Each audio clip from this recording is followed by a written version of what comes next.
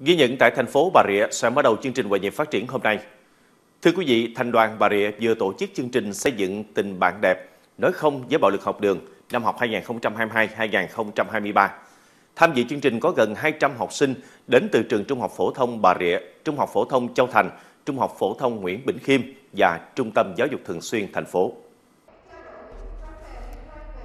Tham gia chương trình xây dựng tình bạn đẹp, nói không với bạo lực học đường do Thành đoàn Bà Rịa tổ chức, các đội trải qua 4 phần thi gồm xử lý tình huống, vẽ tranh, trình bày tiểu phẩm và ý thức đồng đội. Nội dung các phần thi tập trung chuyển tải tình bạn trong sáng, giúp đỡ nhau trong học tập, nói không với bạo lực học đường. Các đội đều có sự đầu tư sáng tạo trong từng tiết mục. Kết thúc chương trình, ban tổ chức đã trao giải nhất nhì ba cho các đội xuất sắc.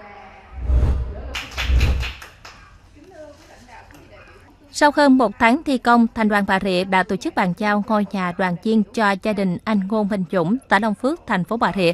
Căn nhà có tổng kinh phí xây dựng 120 triệu đồng. Trong đó, Thành đoàn Bà Rịa dần đồng hỗ trợ 80 triệu đồng, gia đình góp thêm 40 triệu đồng và công xây dựng để căn nhà thêm khang trang, dựng chắc. Thì cũng rất là vui mừng và phấn khởi. Thì ờ, nói chung thì gia đình thì ờ, anh em ở chung nhà cũng đông. Thì ờ, khi được thành đoàn mà tạo điều kiện có nhà thì anh em cũng rất là mừng. Thay mặt gia đình cũng cảm ơn trước tiên là thành đoàn cũng như lãnh đạo của ủy ban dân phường Hưng và xã Long Phước và các đồng chí trong doanh nghiệp.